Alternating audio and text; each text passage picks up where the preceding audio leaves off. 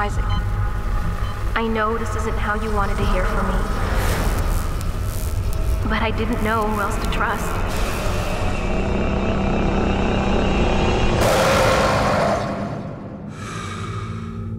What is going on down there? God's work. It could change everything.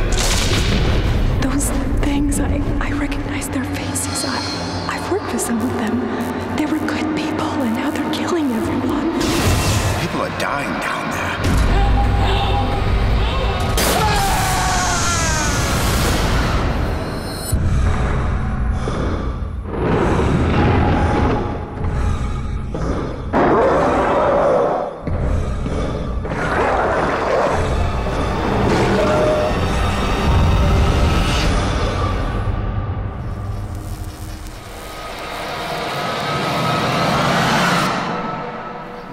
In mysterious ways.